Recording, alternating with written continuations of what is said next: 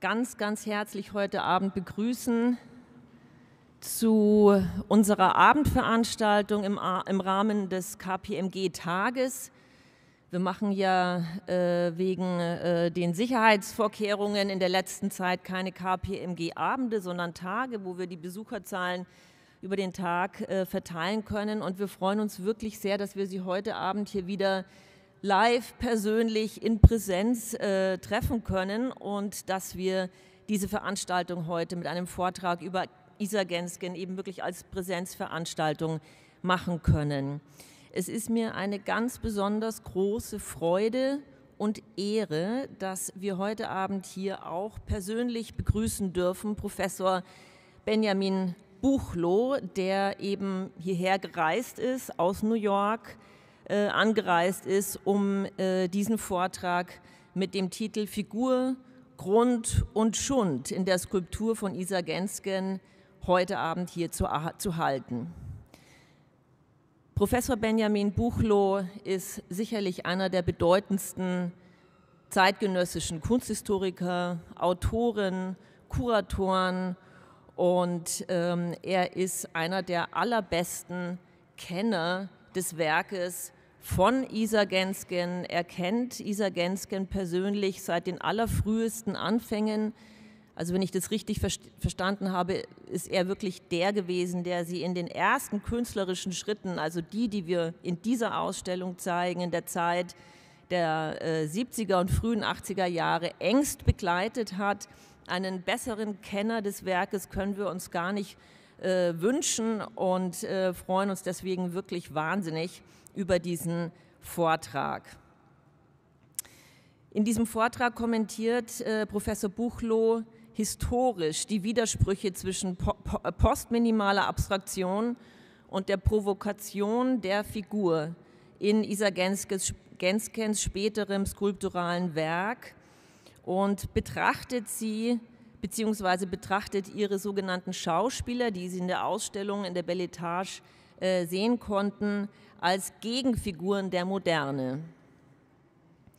Professor Benjamin Buchloh hat seit vielen Jahren lehrt seit vielen Jahren an unterschiedlichsten Universitäten in den Vereinigten Staaten. Er war an der University of Chicago, am Massachusetts Institute of Technology und ähm, ist heute Professor für moderne und zeitgenössische Kunst an der Harvard University. Er war in den frühen 90er Jahren der Direktor des Independent Study Program äh, des Whitney Museum of American Art in New York. Ähm, und er ähm, war oder ist Autor zahlreicher Monographien und Essays über zeitgenössische Künstlerinnen und Künstler, darunter unter anderem, unter vielen anderen Michael Escher, sehr wichtiges Buch über Marcel Protas veröffentlicht, Karl André, Hans Hake, Louis Lawler, Sigmar Polke, Richard Serra, Nancy Spiro, Andy Warhol und viele andere. 2002 erschien seine bedeutende Essaysammlung Neo Avantgarde and Culture Industry Essays on European and American Art from 1955 to 75, ein Standardwerk und äh, neben vielen, vielen anderen Publikationen ebenfalls sehr ähm, sozusagen äh, wichtig und einprägend der Band Art Since 1900, Modernism, Postmodernism, Anti-Modernism, den er zusammen mit Rosalind Krauss, Hel Foster und Yves Alain Blois äh, herausgegeben hat. 2010 ist er Mitherausgeber der Zeitschrift Oktober in New York, ebenfalls mit äh, Rosalind Kraus und Yves Alain Bois zusammen. Und er hat äh, gerade jetzt ähm, in äh, einer Sonderausgabe von Oktober Magazine äh, einen, äh, eine Veröffentlichung gemacht unter dem Titel Women as Photographers in Weimar, Germany and in Exile.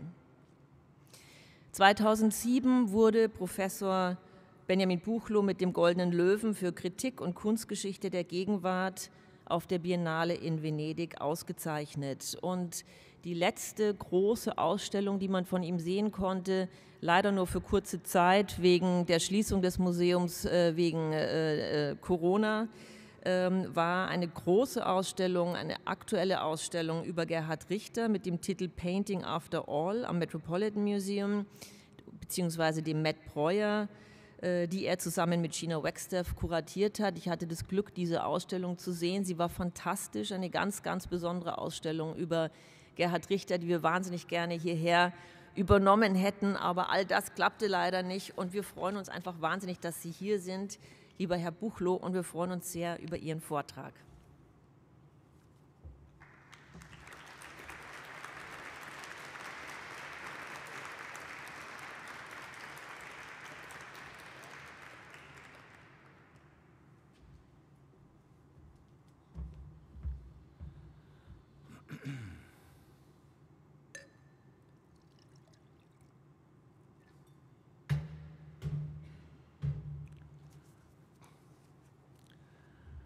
Danke sehr, Professor Gensheimer. Danke für die Einladung und für die großzügige Einführung. Ich bin sehr dankbar.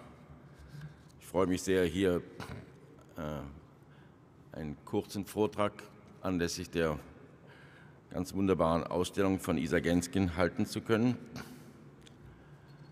Ähm, ich wollte auch wirklich Professor Gensheimer und Agnieszka Skolimowska gratulieren zu der ganz außergewöhnlichen Ausstellung. Ähm, ich bin sehr froh, dass ich Gelegenheit hatte, die zu sehen. Ähm, mein Vortrag ist relativ kurz, sodass Sie auch noch zum Fußballspiel rechtzeitig gehen können, anschließend, nehme ich an. Äh, ich bin besonders glücklich, hier zu sein, weil ich 1976 äh, und 77 äh, etwas über ein Jahr an der Akademie unterrichtet habe hier. Das war also mein letzter ähm, Auftritt vor 40 Jahren ungefähr. Ist also besonders bewegend für mich, hier nochmal erscheinen zu können. Gut, ähm, Es ist relativ bekannt, äh, in welchem Maße Isa Gensken ihre Entwicklung als Künstlerin in den 1970er Jahren durch intensive Begegnungen mit internationaler, primär amerikanischer Kunst der 60er und der 70er Jahre geformt wurde. Und von ganz besonderer Bedeutung in diesen Rezeptionsprozessen war ihre frühe Begegnung mit dem Werk von Bruce Nauman der bereits 1968 seine erste Einzelausstellung bei Konrad Fischer in Düsseldorf hatte. Einige Jahre später führte Genskin sogar eine von Naumann konzipierte körperliche Übung aus, die typisch für Naumanns Denken zu dieser Zeit eine kollektiv zugängliche Verbindung von meditativen und phänomenologischen Formen körperlicher Erfahrung initiierte. Diese Übung die ich damals in der Zeitschrift Interfunktionen dokumentiert habe, fungierte gleichzeitig, wie auch die zahlreichen von Naumann selbst vollzogenen Aufführungen im Studio des Künstlers selbst, als eine der radikalsten Formen der Kritik der Skulptur der 60er Jahre. Denn gerade in diesen wurden die von Maurice Merleau-Ponty theoretisierten Prinzipien der phänomenologischen Wahrnehmung als Grundlage einer fundamental verschiedenen Auffassung von Skulptur deklariert. Hier ist Naumann Dancing on the Perimeters of a Square in the Studio. Aber einer der Aspekte, der für Naumanns Projekt besonders wichtig war und der dann in der Rezeptionsgeschichte völlig falsch als Performance-Art interpretiert wurde, bestand eben gerade in der Aufhebung der skulpturalen Produktion selbst. Der Akt der körperlichen Aufführung und die Auslösung dieser fundamentalen sinnlichen und körperlichen Wahrnehmungen wurde nun eben als die essentielle Basis der potenziellen skulpturalen Erfahrung aller Betrachter definiert. Naumanns radikale Antiästhetik, typisch für die 60er Jahre allgemein, und auf eine vergleichbare Weise auch im Werk von Karl André prägnant formuliert, das Gensken ebenfalls zu diesem Zeitpunkt in Düsseldorf studieren konnte, definierte eine spezifisch amerikanische Dimension der Kritik traditioneller Auffassungen von Skulptur. Hier Karl Andres erste Ausstellung in der äh, Galerie von Konrad Fischer. Diese Negation traditioneller Auffassungen von Skulptur wollte zum einen das wahrnehmende Subjekt selbst als die Figur skulpturaler Erfahrung postulieren. Und zum anderen wollte diese Strategie aber auch den Raum, in dem sich das wahrnehmende Subjekt konstituiert, nicht mehr als einen transzendental oder neutralen, den Körper einfach umfangenen verstehen, sondern eben als den eigentlichen sozialen und schließlich auch den institutionellen Grund der Erfahrung der skulpturalen Figur. André und Naumann hatten also Figur und Grund der Skulptur gleichzeitig radikal verwandelt, um in der Tat dem wahrnehmenden Körper der Betrachter als eigentliche skulpturale Figur zu konstituieren.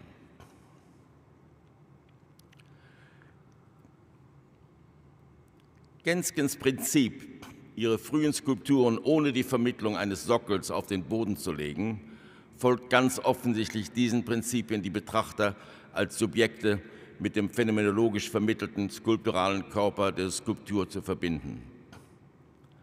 Allerdings unterscheidet sich das Frühwerk Genskens, wie hier von 1976, zugleich auch in wichtiger Weise von den Praktiken der von ihr verehrten Amerikaner durch Charakteristika die sie deutlich in einen orts- und zeitspezifischen Kontext der Düsseldorfer Kunstproduktion der 60er und 70er Jahre stellen.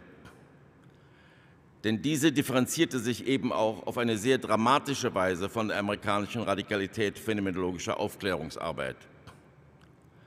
Eine spezifisch deutsche Variante der Kritik traditioneller Auffassungen von Skulptur war vor allem von Joseph Beuys formuliert worden, denn wenn André und Naumann die Betrachter ganz im Sinne von Roland Barthes gleichzeitig praktizierten radikalem Aufklärungsmodell das Subjekt vom passiven Leser zum Autor, also vom Betrachter zum aktiven Teilnehmer zu wandeln versuchten, so richtete sich Beuys auf eine allerdings völlig andere, historisch extrem problematisierte Konzeption einer skulptural vermittelten Erfahrung von traumatisierter Subjektivität.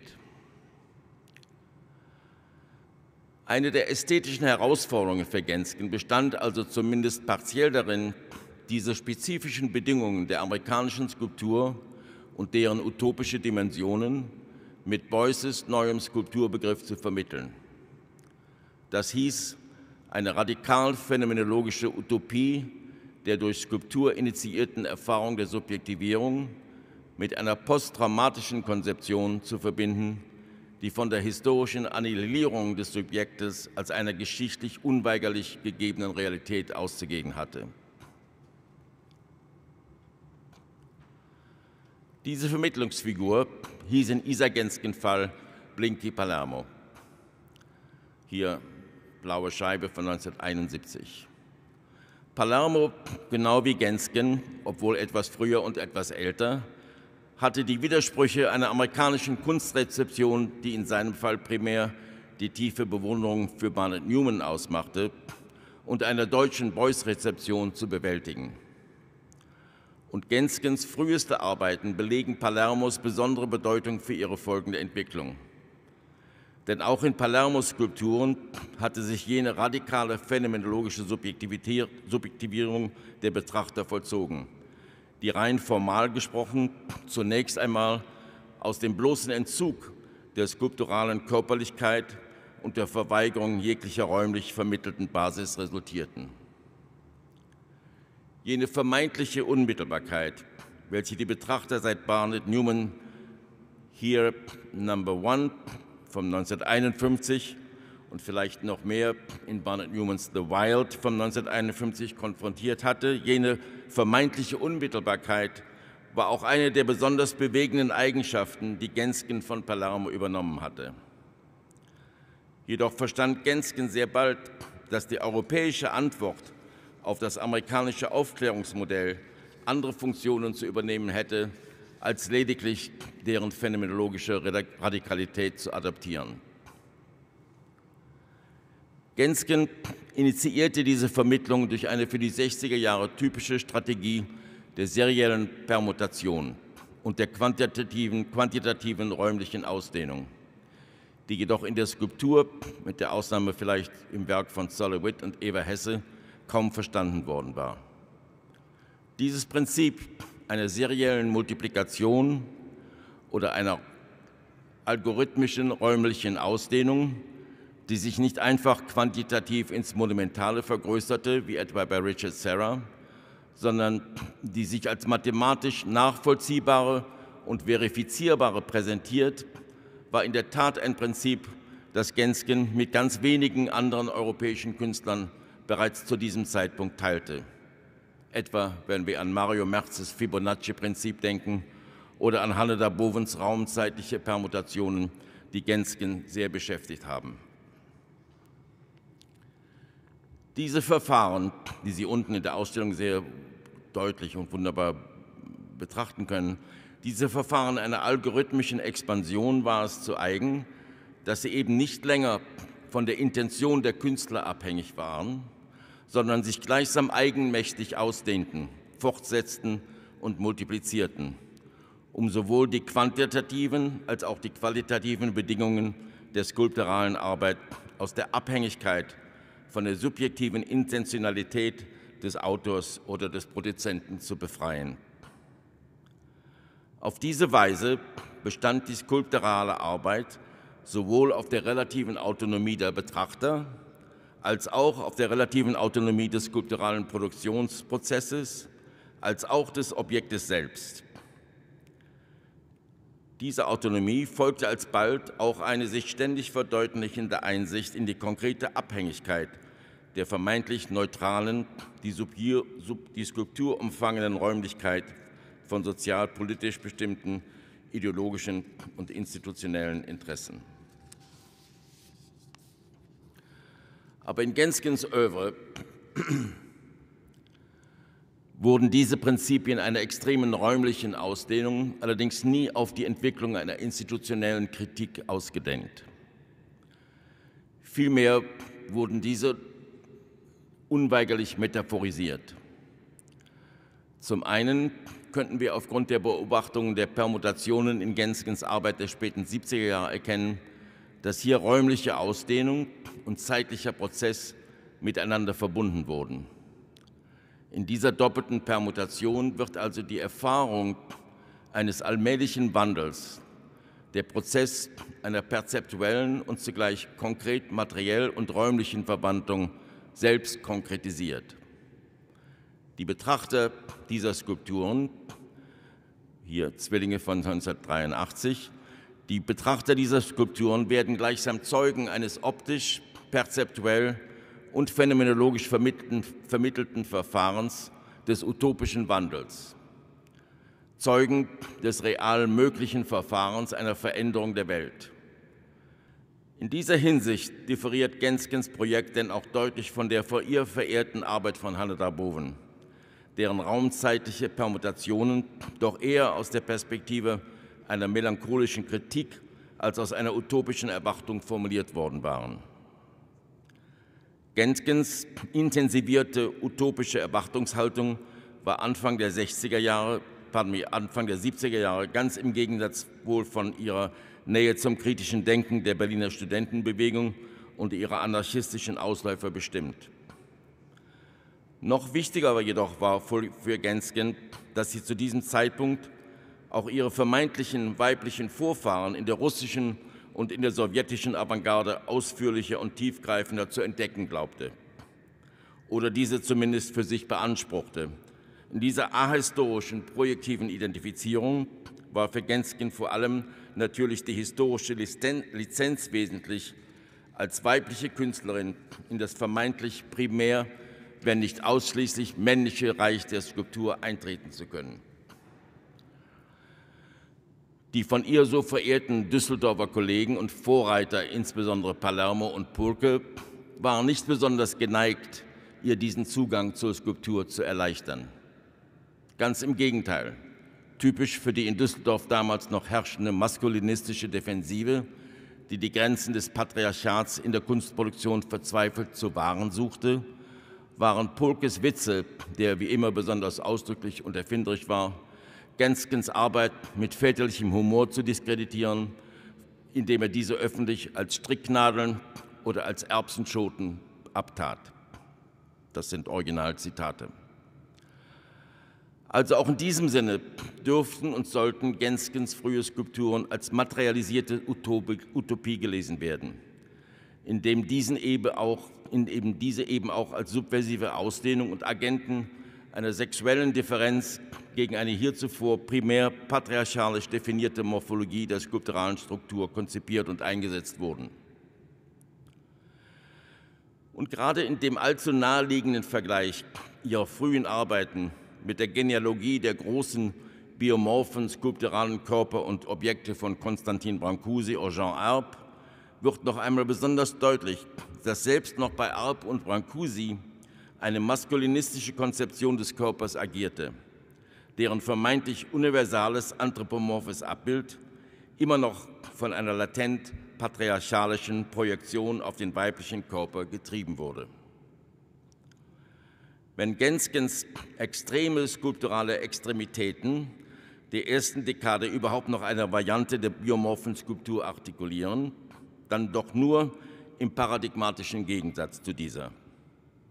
Denn diese Skulpturen kritisieren die patriarchalische Ordnung nicht nur durch ihre eigene Hypertrophie des Biomorphen, vielmehr liquidiert Genskens technologisch vermittelte formale Extravaganz diese geschlechtlich definierten virilen Restformen durch ein historisch fast visionär zu nennendes technologisches Primat, eben ihre unvergleichlich frühe, digital programmierte formale Konzeption und Produktion von Skulptur und architektonischem Volumen. Gensken initiierte Prozesse, die erst einige Jahre später von Frank Gehry oder von Richard Serra für ihre Projekte eingesetzt wurden. So überführt Gensken diese naturalistisch, vitalistisch deklarierte patriarchalische Hegemonie als Selbsttäuschung, indem sie diese einfach technologisch übersteigert. An deren Stelle setzt Gensken nun einen skulpturalen Freiraum und eine phänomenologische Körperlichkeit, die sich nicht nur von der gesellschaftlich konstruierten Geschlechterhierarchie befreit, sondern diese auch in einer radikal utopischen Geste auf das historische Niveau einer technologisch vermittelten Intelligenz gestellt hat.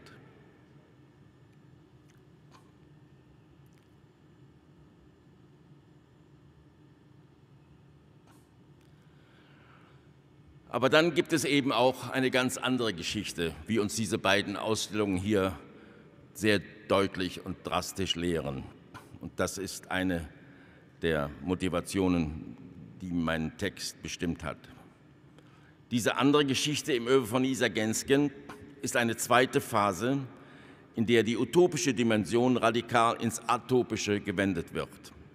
Ich zeige hier den Spielautomaten von Isa Gensken, den ich in gewisser Weise als einen Anfang dieser Wendung verstehe von 1993.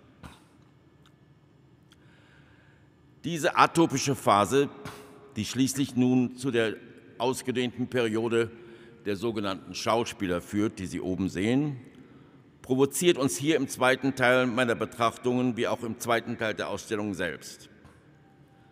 Es wäre ein einfaches, unseren Betrachtungen nun nur ein zusätzliches Kapitel der Rezeptionsgeschichte hinzuzufügen. Dies wäre umso plausibler, als es uns auch erlauben würde, dem zuvor zitierten amerikanischen Modell der postminimalen Skulptur der 60er Jahre nun auch noch eine spezifische deutsche skulpturale Tradition entgegenzusetzen.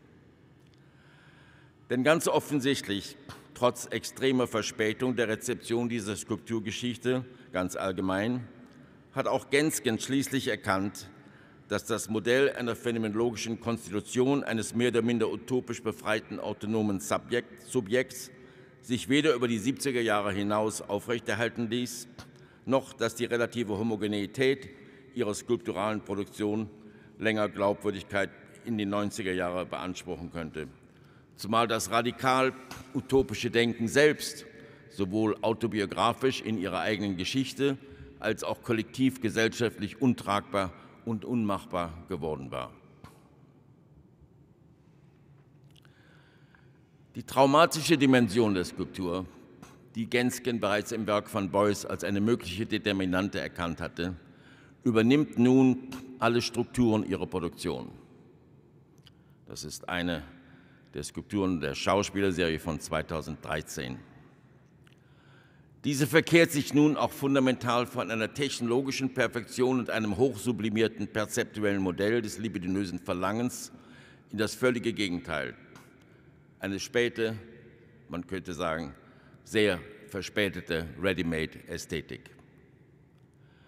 Diese hatte bereits im historischen Bogen der Entwicklung von Dada Berlin zu Duchamp die Qualitäten einer Endstation oder eines Endspiels des, der modernistischen Skulptur erreicht.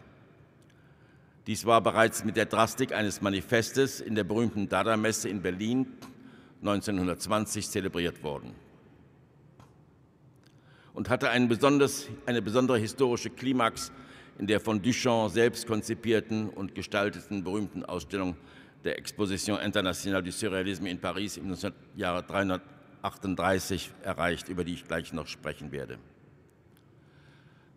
Im vollen Bewusstsein des Scheiterns der surrealistischen utopischen Projekte und der dadaistischen Projekte hatten die Künstler nach 1920 und nach 1930 in Berlin und Paris hier in der Tat ein Modell konvertiert, in dem Hartfields Kriegskrüppel und Baders Medienpuppen in den Registern der ewigen Wiederkehr desgleichen, der Haute Couture, angesiedelt wurden.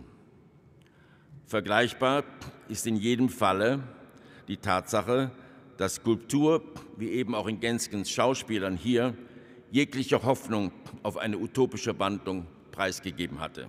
Ich zeige Ihnen zwei Abbildungen von Johannes Baders Dada Diorama Drama in der Berliner Dada-Messe von 1920. Auf der linken Seite sehen Sie sogar Johannes Bader neben dem Mannequin posiert. Vergleichbar ist in jedem Falle die Tatsache, dass Skulptur in diesen Fällen, wie eben auch in Genskens Schauspielern, jegliche Hoffnung auf utopische Wandlung preisgegeben hat. An deren Stelle tritt nun eine bittere, emphatische Zeichenturbulenz, der eine Subversion der totalitären Formen des erzwungenen Konsums und der totalen Verdinglichung nur noch im Abakadabra der willkürlichen Kombinationen aller Materialien und Morphologien als einzige Strategie der Befreiung vorschwebt. Vorformen dieser großen Werkgruppe der Schauspieler wurden von Gensken im Jahr 2000 2007 im deutschen Pavillon der Biennale Venedig erstmals mit ihren Astronauten in der Installation Oil vorgestellt. Seither hat uns Genskens Praxis mit einer verstörend hybriden Skulptur konfrontiert, die man, als, die man als einen provokanten Versuch beschreiben könnte, das Episteme des Readymates mit der Figuration zu verbinden.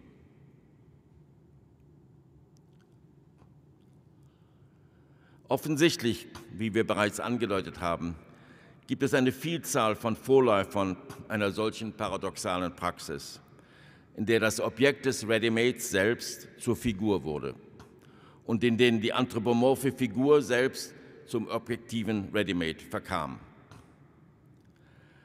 Nicht zufällig wurden Giorgio de Chiricos erste Manikinos und Marcel Duchamps erstes Unassisted Readymade im gleichen Jahre also 1917, konzipiert. Und wenn die tiefere Dialektik dieser beiden Episteme eine ausführliche Erklärung erwartet, bescheiden wir uns hier heute mit der bloßen Konfrontation, die schließlich zu solchen hybriden Figuren wie Genskens Schauspielern geführt hat. Offensichtlich ist, dass die Kirikos-Modelle eine verdinglichte anthropomorphe Figuration gegen den Verlust der Figuration im Kubismus einzusetzen versuchten. Eine weitaus wichtigere Rezeption in der deutschen Dada-Geschichte wurde gefunden, als man von einem realen Verständnis der Konsequenzen in Dada Berlin sprechen könnte. Typisch für die geschichtliche Situation einer traumatisierten Historie wurde die Kirikos Manikino zurückgehen, wurde die Kirikos Manikino, einst eine Studio- und Schaufensterpuppe, in Berlin zum prosthetischen Nachkriegskrüppel verwandelt und schließlich zur Figur einer roboterhaften Postsubjektivität. Typisch für diese brutale Anpassung an die Bedürfnisse der Weimarer Nachkriegskultur wurden George Gross und George Hartfields, der wild gewordene Spießer John Hartfield, den ich Ihnen hier zeige, von 1920, und Johannes Baders zentrale Gestalt in seinem epochalen Plasto Dio Dada Drama, die ersten Modelle dieses neuen Skulpturtypus, der das Ready-Made und die Figuration, die anthropomorphe Figur als eine unumgänglich notwendige, aber schier unerträgliche Einheit zu erzwingen versuchten. Diese erzwungene Einheit von Figur und Ready-Made verfolgt uns nun bis hin zu Genskens Schauspielern. Es stellt sich also die Frage, ob Genskens Gestalten eher dem traumatischen Typus zugerechnet soll, werden sollen, eine andere Art von entstellter Subjektivität, entstellt nicht durch Mangel und Verlust, verkrüppelt durch Überfluss. Oder ob es sich vielleicht doch eher um eine groteske Variante der von den weiblichen Agenten der Dada-Geschichte Dada aufgeführten Dada-Puppen handelt. Anziehpuppen gleichsam, in denen die unausgesetzte zwanghafte Innovation des Immergleichen der Mode aufgeführt wird. Die Genealogie des Readymates in Genskens Skulpturen nachzuzeichnen, ist allerdings weitaus schwieriger, war doch das Readymade eine sehr avancierte theoretische Variante des Prinzips der Abstraktion, nicht der Figuration.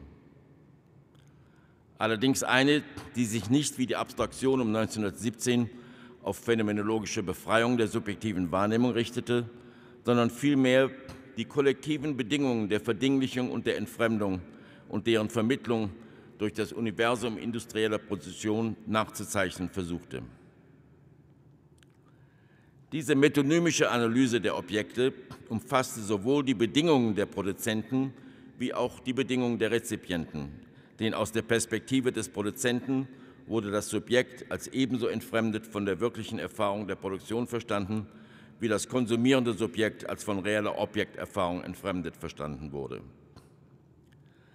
Erst mit diesem Verlust der Dialektik von Subjekt und Objekt, das heißt in jenem historischen Moment, in dem das Denkmodell des Readymates seine ursprüngliche subversive Kraft offensichtlich verloren hatte, wandelt sich auch nun das Readymade Duchamps selbst zur anthropomorphen Figur. Hier ist Marcel Duchamps Selbstporträt in der Ausstellung von 1938. Waren im ursprünglichen Ready-Made Duchamps das Subjekt und das Objekt noch klar unterschieden, zumindest hin bis zu dem Moment seiner Identifikation mit dem Konstrukt der Rose Salabi, so wurde dieser Dialektik zunehmend, zunehmend in jener geschichtlichen Phase aufgehoben, in der die Totalität der verdinglichten Welt auch noch die geringsten Restformen und räumlichen Refugien einer konstitutiven Autonomie des Subjektes ausgelöscht hatte. An deren Stelle trat nun das universale Gesetz totaler Warenproduktion, in der sich das Subjekt nur noch im Prozess einer ständigen narzissstischen Differenzierung konstituieren kann. Diese total verdinglichte Subjektivität verlangt nun eben eine anthropomorphe Figuration. Dieser Prozess erreichte einen zweiten, nach der Dada-Messe in Berlin, einen zweiten historischen Höhepunkt in der von André Breton, Paul Éluard und Marcel Duchamp konzipierten und ausgeführten Ausstellung Exposition Internationale des Surrealisme, die ich schon erwähnte, in Paris in 1938.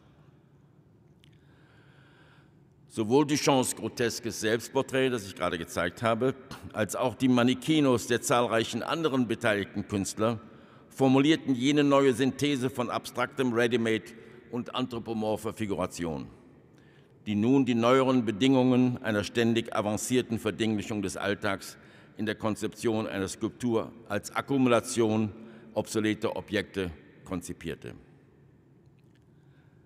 Diese Zwänge und Prinzipien einer sich unausgesetzt erneuernden Produktion, deren Ziel es ist, das menschliche Verlangen zu kontrollieren, sind nun auch in der zweiten Hälfte des Övres von Isa Gensken zum herrschenden Prinzip ihrer Skulptur geworden. Alle Formen und Materialien, welche die erste Phase ihrer Produktion als utopische Erwartung und praktische Umsetzung dieses transformativen Denkens artikuliert hatten, verschwinden nun aus Genskens Produktion. Und alle jene Materialien, die im zwanghaft ausgeführten Prozess das Subjekt wörtlich zum geschundenen Subjekt machen, werden nun von Gensken als alleingültige Materialien vorgeführt. Und was wir in der ersten Hälfte ihrer skulpturalen Produktion als eine utopische Phänomenologie des Verlangens und als einen Prozess der Verwandlung und der Veränderung erkannten, konfrontiert uns nun in der zweiten Hälfte ihres Övres mit einer Phänomenologie des willkürlichen und witzlosen Besitzes, des erzwungenen Erwerbs und des immer neuen Verlustes, der ständig neuen Obsoleszenz des vergeblich Erworbenen. Diese Bedingungen würden auch die fundamentale Veränderung der Materialien in Genskens Spätwerk erklären. Denn schließlich werden wir als Betrachter nicht nur einer nahezu gewaltigen Heteronomie der Figuration unterworfen, sondern in vielleicht noch intensiver Weise einer Gewalt und Vielfalt und Simultanität völlig unvereinbarer Materialien, Texturen und stoffliche Oberflächen.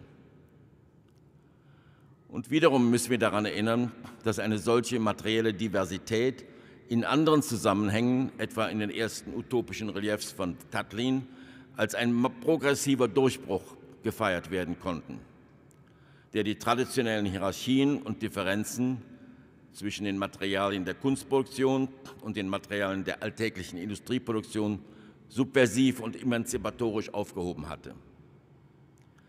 In Genskens atopischer Skulptur hingegen vereinen sich die Akkumulation der willkürlichen Figuren mit einer nicht minder willkürlichen Akkumulation von Materialien, deren Prinzip eher den Horizont einer universalen allegorischen Entwertung aller Materialien als den einer kollektiven Befreiung von Klassenhierarchie und Differenz anpeilt. Und schon gar nicht auch noch die geringste Erinnerung an den Kult, an den Kult einer modernistischen Materialspezifizität erlaubt, der zum Beispiel noch eine der ethischen Grundformen des von Gensken bedauerten und betrauerten Bauhauses dargestellt hatte. Selbstgestalten wie Karl André oder Richard Serra, die ganz sicherlich, wie wir erwähnt hatten, von großer Bedeutung für Genskens Entwicklung ihres Denkens über Skulptur waren, hatten sich noch ausschließlich mit einer solchen modernistischen Reinheit oder Homogenität der Materialien der industriellen Produktion identifiziert. Gensken hingegen in der zweiten Hälfte ihres Lebens und in der zweiten Hälfte ihres Övres hat an die Stelle utopischer Versprechen und Erwartungen, die sich weder erfüllten noch halten ließen, Modelle des allegorischen Verlustes gesetzt und der melancholischen Aufhebung deren materielle Unvereinbarkeit allein durch Obsoleszenz und Verlust vereint, hat sicherlich einen großen Vorläufer in dem von Gensken schon früh verehrten Kurt Schwitters und seiner Materialästhetik gefunden. Nichts hätte dem Materialkult des Bauhauses und der modernistischen konstruktivistischen Skulptur mehr widersprochen schon damals als Schwitters Architektur des Abgelebten im Märzbau. Zuletzt dann noch ein Versuch, den Titel der großen Serie der Schauspieler zu verstehen oder zumindest kurz zu kommentieren. Wiederum vergleichbar dem Märzbau von Schwitters als eine Art Gegenarchitektur, welche die heroischen Versprechen der Bauhausmodernität allegorisch und öffentlich bezweifelte, setzt Gensken in der Akkumulation der Schauspieler eine Art Gegenöffentlichkeit in die Welt, eine in, der Erwartungen, eine, in der die Erwartungen und Versprechen der bürgerlichen wie auch der proletarischen Öffentlichkeit, wie diese von Habermas und später von Negt und Kluge theoretisiert worden war, in ihrem real gegenwärtigen Zustand aus atopischer, allegorischer Sicht konkretisiert werden. Schauspieler wäre dann eben auch das Epithet einer kollektiven Existenz, deren primäres Kriterium die mangelnde Authentizität zu sein hätte. Schauspieler wäre aber wohl auch jene Formation einer fundamental fremdbestimmten Subjektivität, die vom realen Agens in einer politischen Wirklichkeit ausgeschlossen ist oder sich hat ausschließen lassen.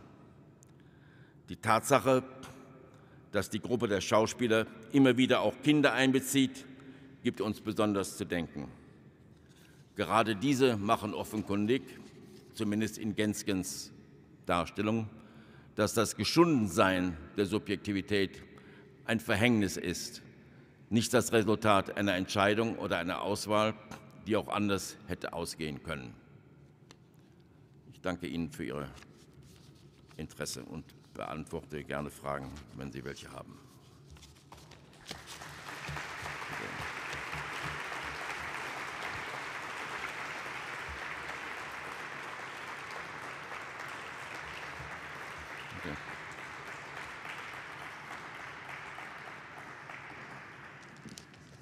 Ganz herzlichen Dank, äh, lieber Herr Buchloh, für diesen unglaublich interessanten Vortrag.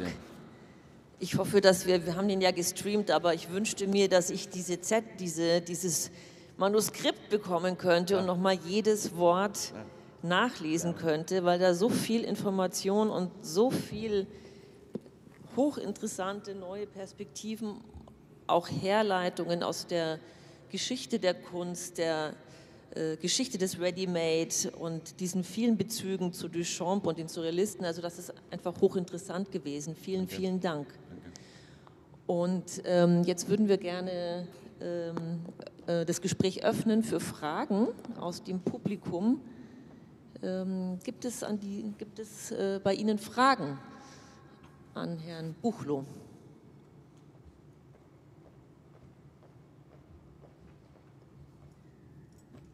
Erstmal sehr vielen Dank. Ähm, klasse, ich sag mal, Intro. Ich habe leider die Ausstellung noch nicht gesehen. Ähm, meine Frage an Sie nach vorne gedacht, weil ich glaube, das Statement, was Sie als Schlussbemerkung gebracht haben, ist ähm, einerseits sobering, andererseits aber auch äh, inspiring. Okay. Und zwar, ich weiß nicht, ob Sie die Künstlerin Luisa Clement kennen mit ihren Avataren. Nein, kenne ich nicht. Ja. Aus Bonn, die auch unter anderem äh, diese, ich sag mal, Geschichte mit dem Bauhaus oder zumindest eine Verbindung da hat, aber dann mit diesem künftig, wo ist Humanität, wo ist artifizielle Künstlichkeit von Maschinen? Okay. Ob Sie da vielleicht noch mal was zu sagen könnten. Danke. Okay. Ich kenne die Künstlerin leider nicht, werde aber gerne ähm, nachsehen. Clemens, sagten Sie, ist der Name? Ja. Ja, es gibt einen, ähm, einen ganz langen Text den ich geschrieben habe vor einiger Zeit schon, ähm, der sich speziell mit Genskens Auseinandersetzung mit dem Bauhaus beschäftigt. Es gibt ja diese Publikation und die große Ausstellung mit dem wunderbaren Titel Fuck the Bauhaus und äh, das klassische Isa Gensken-Satz.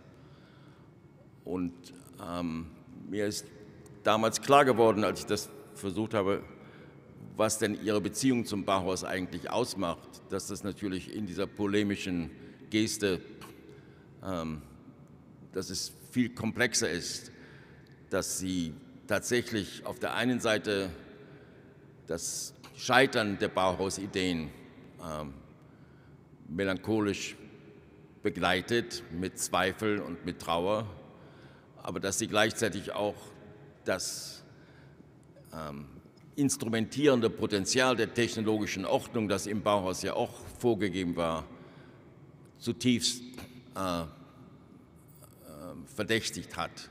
Und der Vergleich mit Schwitters, ich habe ihr das auch mal nahegelegt und im Gespräch hat sie das bestätigt, heißt nicht, dass es richtig oder falsch ist, äh, scheint mir gerechtfertigt zu sein, weil natürlich Schwitters äh, trotz der Verehrung, die ihm von Mies van der Rohe zuteil wurde, selber ein Mann war, der in vieler Hinsicht die technokratische Ordnung und die technokratische Hoffnung, die das Bauhaus formulierte, in Zweifel gestellt hat. Und diese Opposition im, im, im Herzen der deutschen Modernität von 1919 bis 1933 ist nicht ausführlich, vielleicht kenne ich die Literatur nicht, das wäre sehr schade, ist aber durchaus möglich, diese, diese ungeheure äh, Dialektik dieser Position ist in dem, was ich gelesen habe, nie herausgearbeitet worden. Also natürlich war Schwitter sehr befreundet mit Bauhäuslern, natürlich war er am Bauhaus als Besucher, natürlich wurde er so sehr geschätzt, aber dass seine eigene Arbeit im Grunde das Bauhausprojekt total unterminiert hat. Also man, was könnte mehr subversiv gegen den Bauhausgedanken gerichtet sein als der Märzbau. Also diese Opposition findet sich meiner Meinung nach im Werk von Genskin auch wieder. Also wenn sie sagt, fuck the Bauhaus, dann ist das sowohl eine kritische Erkenntnis, dass dieses technokratische Projekt zum Scheitern verurteilt war, als es auch anerkennt, dass es ein historisches Scheitern war, das eine utopische Verwandlung hätte erzeugen können. Also das ist bei Genskin wirklich als Spannung in der Arbeit gegeben und auch als Spannung in dieser merkwürdigen, witzigen Formulierung. Ähm, ich weiß nicht, ob das Ihre Frage beantwortet, aber in diese Richtung würde man weiterdenken wollen, glaube ich. Danke.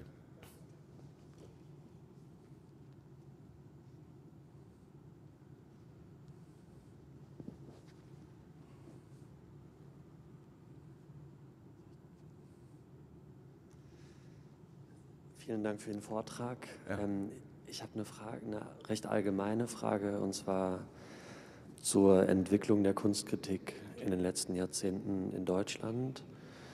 In den ähm, letzten sechs Jahrzehnten? In den letzten Jahrzehnten. Okay. Ähm, und zwar, ob Sie auch den Eindruck haben, dass ähm, es so einen Mangel an kritischer Haltung gibt in Kunstmagazinen, ähm, sodass fast der Eindruck entsteht, dass es eher Bewerbungen von Ausstellungen sind als noch echte Kritik und ob Sie das mit Sorge beobachten oder mit Gelassenheit und ob Sie Gründe ja. dafür sehen, warum sich ja. das in diese Richtung entwickelt hat. Das ist eine schwierige Frage für mich. Wie gesagt, ich bin 1976 aus Düsseldorf weggegangen und habe seitdem in Amerika gelebt.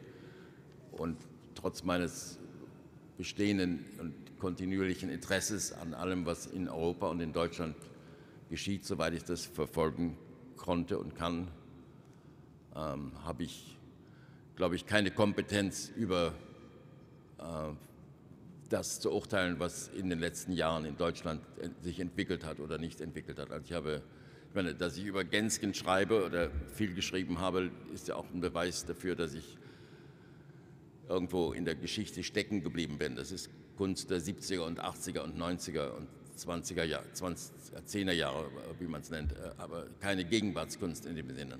Das ist auch wichtig, dass also Künstlerinnen der letzten zehn Jahre, die in Deutschland gearbeitet haben oder arbeiten, ähm, sind mir zum großen Teil, ich gestehe das mit Schande, äh, nicht bekannt genug um darüber reden zu können. Natürlich kenne ich Hito Steil, natürlich habe ich ihre Arbeiten gesehen, aber würde ich mich äh, geeignet sehen, darüber zu schreiben? Im Moment nein, weil ich eben einfach nicht genug gelesen und gesehen habe. Also ich bin da durchaus historisch limitiert äh, auf Künstler meiner Generation oder meine, meiner Geschichte.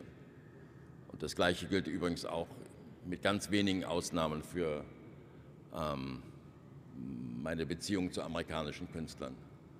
Auch da würde ich gerne äh, zugeben, dass ich mich also nicht in irgendeiner Weise als Gegenwartskritiker vorstellen möchte. Wenn ich das war, dann war ich das vor 20 Jahren, aber nicht jetzt. Also von daher kann ich auch nicht urteilen über das, was in Deutschland geschieht oder nicht geschieht.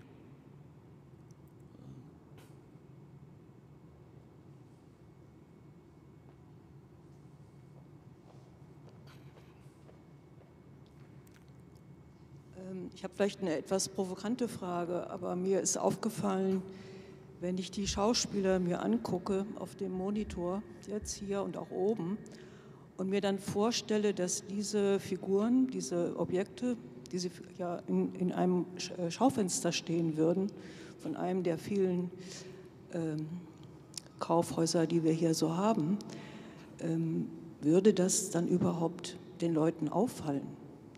Also ich könnte mir vorstellen, dass ähm, Gensken ähm, für ihre Arbeiten in gewisser Weise das Museum braucht. Mhm. Also als Schonraum oder als Schutzraum für eine völlig äh, verwahrloste äh, innerstädtische Situation, mhm.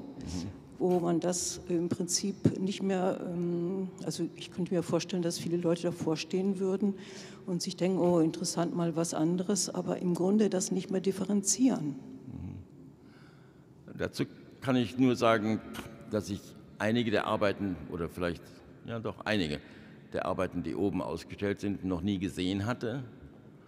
Und Ihre Frage ist großartig und ich bin ganz anderer Meinung. Als ich, als ich die Homeless People oder die obdachlosen Figuren auf dem Boden gesehen habe heute, muss ich sagen, ich war sehr, sehr unangenehm berührt, im besten Sinne dessen, was das sein kann. Und wenn Sie mir sagen, stellen Sie das bei Hertie oder bei Kaufhof in die Schaufenster mal, das ist eine brillante Idee, würde ich unbedingt vorschlagen. Ich glaube nicht, dass, ihr, dass Sie recht haben, dass die Leute sagen würden, na, mal was anderes. Ich glaube, dass die Härte dieser Arbeit tatsächlich auch in einem kommunalen Raum wie dem Kaufhaus seine Wirkung nicht verfehlen würde. Zumal diese Arbeit und einige ähnlich, auch die, die beiden Polizisten zum Beispiel, haben mich sehr so im besten Sinne überrascht und geschockiert und, und beunruhigt. Und ich glaube nicht, dass das einfach so als ähm, alternative Schaufensterdekoration über die Bühne gehen würde.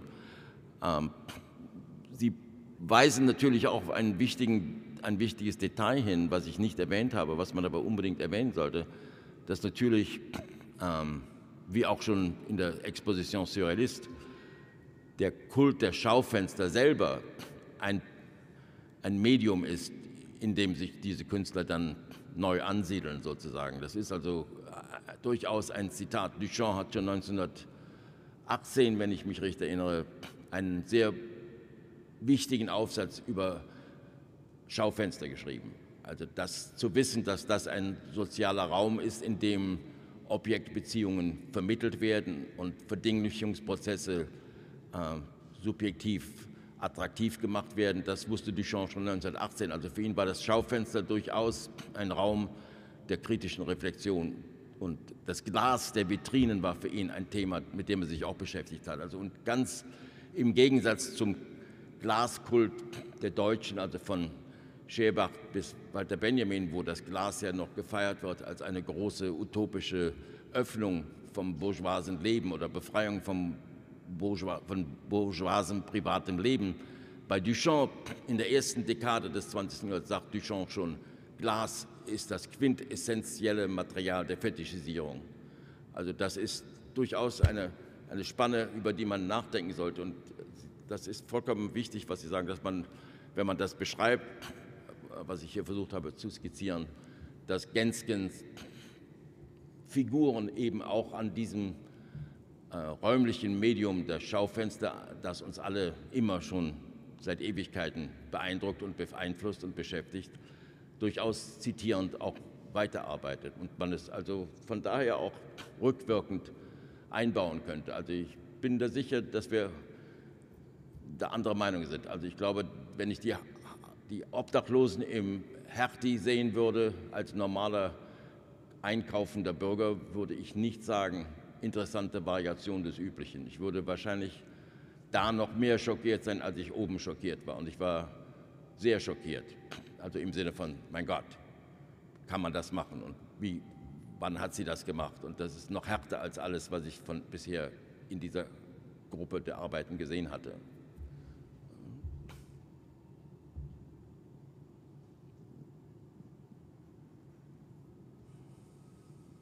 Ich hätte auch noch eine Frage, und zwar ähm, in Bezug auf die frühen Skulpturen. Hatten Sie unterschieden zwischen den Utopien der amerikanischen Bildhauer wie Karl André Soluit, mhm oder auch Bruce Nauman, also deren, äh, deren utopische Vorstellungen oder Hoffnungen, die die hatten und vergleichbaren ähnlichen Bestrebungen der deutschen Künstlerinnen und Künstler mhm. dieser Zeit, die aber nicht ihre Utopien auf der Basis dieser Hoffnung aufbauen konnten, sondern eben auf der Basis dieser der destruktiven Erfahrungen, ja. natürlich also der, des Zweiten ja. Weltkriegs, des Holocausts und so weiter. Ja. Und mich, was ich nicht verstanden habe, was ich Sie fragen wollte, ob Sie das nochmal ausführen könnten, bei Isa Gensken, worin sehen Sie, also bei diesen frühen, bei den Ellipsoiden mhm. und Hyperbolus, worin würden Sie das da sehen? Also welcher Aspekt dieser Skulpturen würde diese, dieses Moment sichtbar machen? Da sehe ich es nicht. Ah, nee, mhm. das habe ich vielleicht nicht geklärt. Ich habe ja nur einmal ganz kurz mein Gehirn gezeigt. Das hätte natürlich einen Kommentar verlangt. Es gibt auch andere Skulpturen aus der gleichen Zeit oder später. Die berühmteste vielleicht ist, heißt Kürtchen, die leider verloren gegangen ist, soweit ich weiß. Das war eine ausdrückliche Hommage an Kurt Schwitters.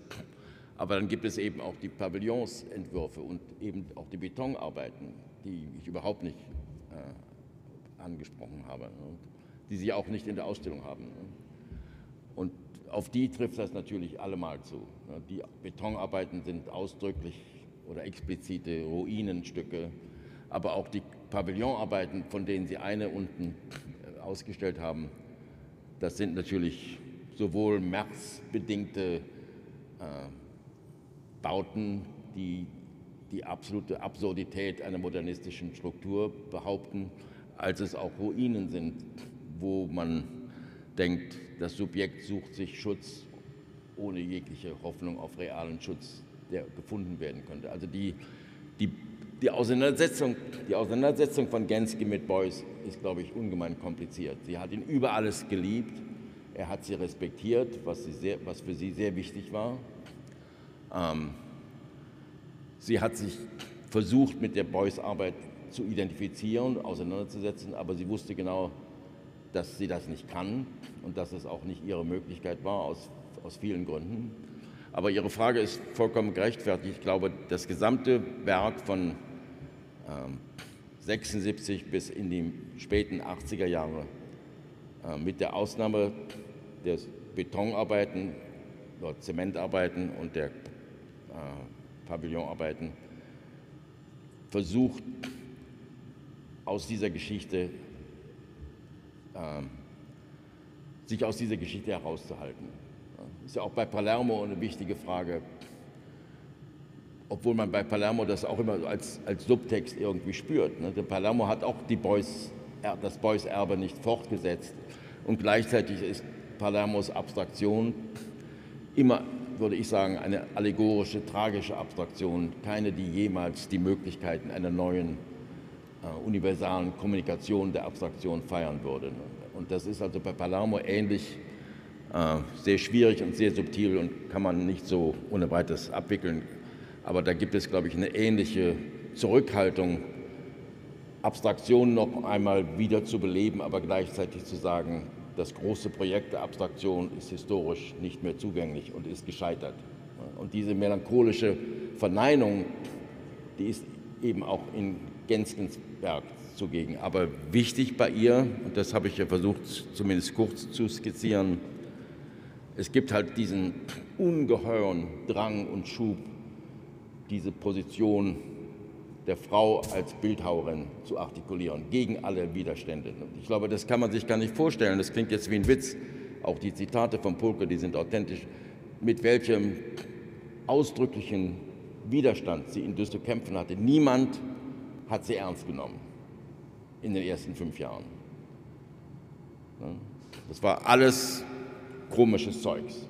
Und dann von ihr letztlich, also von Beuys, wenn die Begegnung mit Beuys stattfindet, dann ändert sich das. Aber die ersten drei, vielleicht waren es nicht fünf, die ersten drei, vier Jahre, als sie an der Akademie in Düsseldorf gearbeitet und gelernt hat und mit Richter studiert hat, waren ungemein schwierige Zeiten für sie. Und diese äh, dieser Versuch, eine Skulptur zu artikulieren, die sich darüber hinwegsetzen konnte und das äh, auch im Sinne dessen, was sie von den Amerikanern gelernt und verstanden hatte, das war sehr wichtig, dass sie das äh, hier verankern wollte auch. Die, hat, die Genskin hat ganz genau verstanden, wie wichtig diese radikalen Positionen für jede Figur in der Skulptur sein mussten. Das war keine nationale Tradition, die man einfach verneinen konnte. Es war aber auch keine nationale Tradition, die man einfach verinnerlichen konnte. Das ist das Dilemma.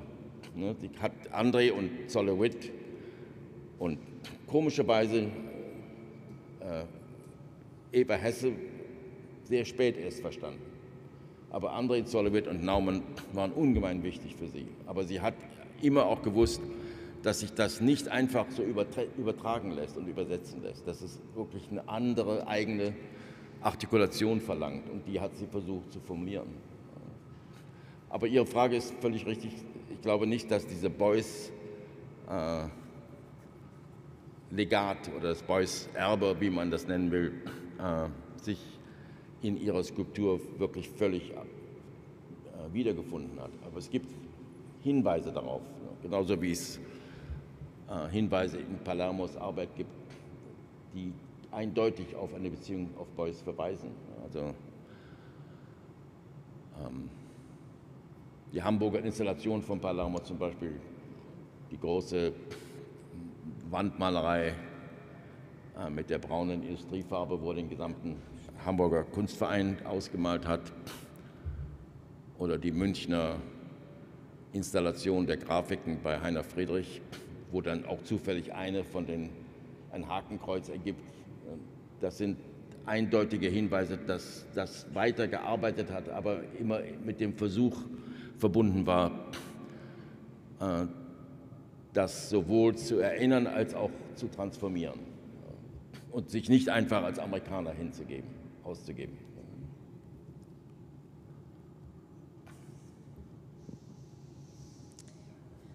Ja, bitte.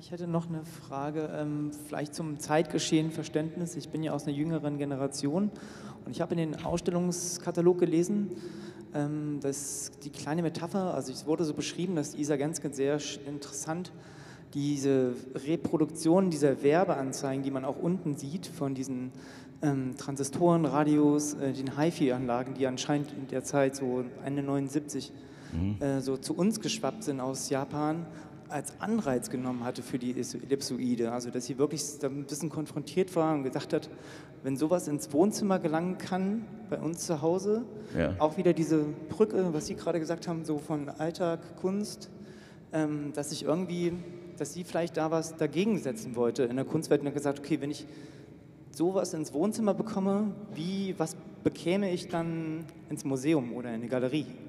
Gefühlt, was genau so ein, ja, was, ein, was irgendwie vergleichbar wäre mit so einer Anmutung, okay. von sowas Technoiden vielleicht auch. Okay. Können Sie da irgendwas noch sagen ja, ich, aus der Zeit? Ich weiß nicht, ob ich die Frage verstehe oder beantworten kann, aber ich will es versuchen. Also ich weiß, es gibt ja dieses wunderbare Interview, das sie mit Wolfgang Tillmanns geführt hat, wo sie ausdrücklich über die Stereoarbeiten spricht und etwas naiv in meiner Meinung davon redet, dass alle Skulpturen, die sich mit der Ready-Made-Tradition befassen, mindestens so gut sein müssen wie die avanciertesten industriellen Produkte. Und dann verweist sie halt auf die Stereoanlagen. Und ähm, das ist eine problematische äh, Position für mich. Also sowohl problematisch, weil sie naiv ist, ähm, denn wenn Duchamp 1917 gesagt hat, Amerika hat nichts an Kultur zu bieten, außer seinen Brücken und seinen, äh, in, äh, seiner, äh, ähm, wie sagen wir, hygienischen Installationssystemen, also Waschzimmer und Toiletten, dann war das eine radikale Stellungnahme. Aber wenn man das 50 Jahre später nochmal wiederholt und sagt, das Stereogerät ist der Maßstab des neuen Readymates, dann ist das so blöd wie Jeff Koons, der die Staubsauger ausstellt. Ne? Das ist also nicht gerade eine großartige äh, Subversion. Ähm, aber man versteht es. Ne? Es beweist eben auch, dass selbst das Readymade als Episteme seine historische Rolle gespielt hat und irgendwann mal ausgedient hat. Das ist halt auch das Problem dabei. Und ähm, ich kann Ihnen das so als ähm,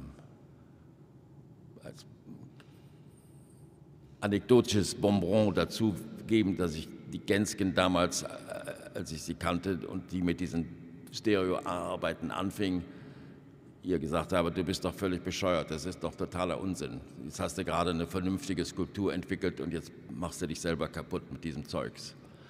Also, ähm, ist jetzt ein bisschen übertrieben, aber ich war sehr enttäuscht und sehr negativ angetan von diesem, wie sich nun herausstellt, eigentlich ungemein wichtigen und radikalen Schritt, den sie da getan hat, obwohl es ja auch eine, eine Ausnahmeproduktion ist. Es ist, ist, ist, ja kein, neues, kein neuer Zweig des Övres geworden. Ne? Und ich weiß nicht, war das eine Antwort? Partiell, ja.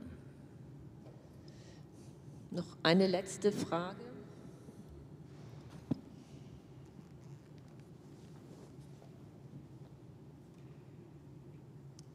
Ähm, es ist ja sehr, beneid, äh, sehr, beneidenswert, dass Sie damals so ein Teil von, von, von der Szene damals hier sein konnten mit Richter, Palermo, Polke, Isagensken, mhm.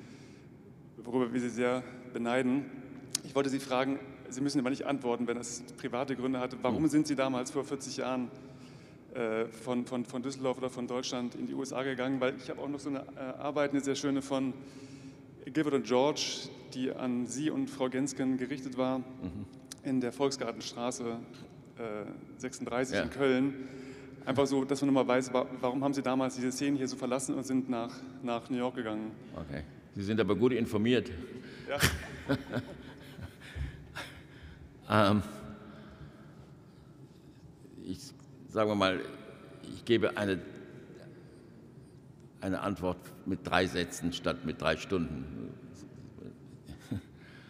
Ähm, zum einen, unglaublich wie das klingen mag, gab es mit der Ausnahme von Herrn Professor Kerber in Bochum in Deutschland keinen einzigen Lehrstuhl, der sich mit Kunstgeschichte des 20. Jahrhunderts, geschweige denn mit Kunstgeschichte der Nachkriegszeit beschäftigt hätte.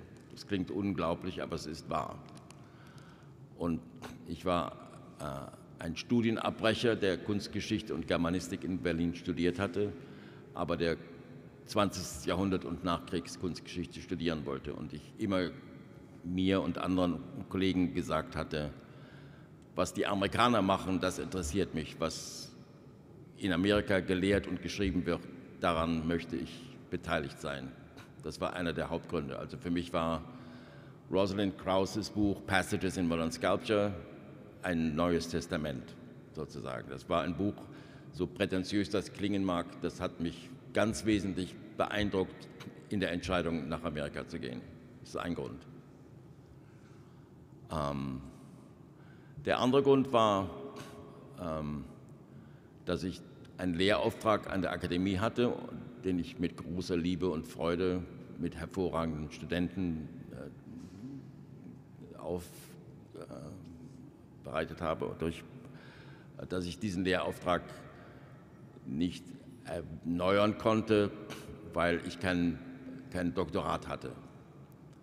Und der damalige Direktor des äh, Kunsthistorischen Instituts an der Akademie weigerte sich, meinen Lehrauftrag zu verlängern.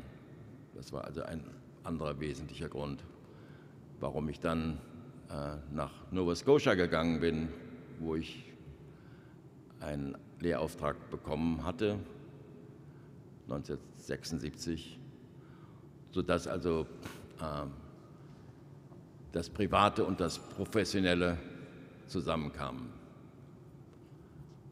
Und ähm, wo wir gerade hier so schön zusammensitzen und das alles immer sehr viel spannender ist. Der dritte Grund war, dass die große Liebesgeschichte mit Isa Gensken zu, zu, Ende ging und die Trennung über Kontinente leichter zu erstellen war, als im gleichen, in der gleichen Stadt weiterzuleben. Das ist also dann die dritte Antwort. Das müsste eigentlich reichen. Okay, danke für Ihre Fragen und Ihres Zuhören. Es war mir eine große Ehre und eine große Freude, hier sprechen zu dürfen. Ganz, ganz herzlichen Dank, Danke. Herr Bublo. Danke sehr.